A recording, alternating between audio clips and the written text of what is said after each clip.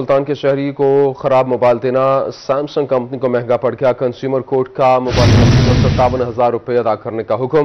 Petitioner ने consumer protection act के तहत हरजाने का दावा दायर किया। साल ने 14 अक्टूबर 2020 को डिस्ट्रीब्यूटर से सैमसंग मोबाइल खरीदा।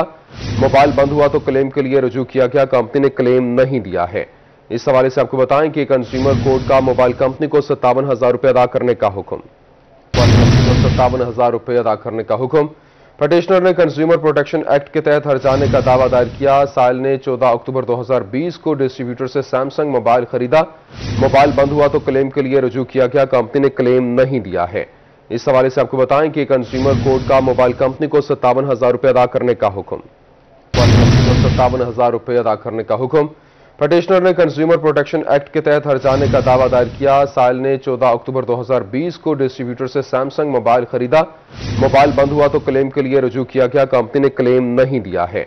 इस हवाले से आपको बताएँ कि कंज्यूमर कोर्ट का मोबाइल कंपनी को सत्तावन हज़ार रुपये अदा करने का हुक्म।